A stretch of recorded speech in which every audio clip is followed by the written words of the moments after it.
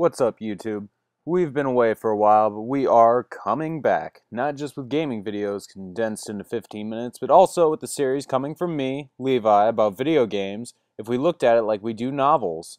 I'll be doing videos on stories like Bioshock Infinite, Red Dead Redemption, even Dark Souls and its completely hidden lore. You can expect this, and even more, coming June 7th this year.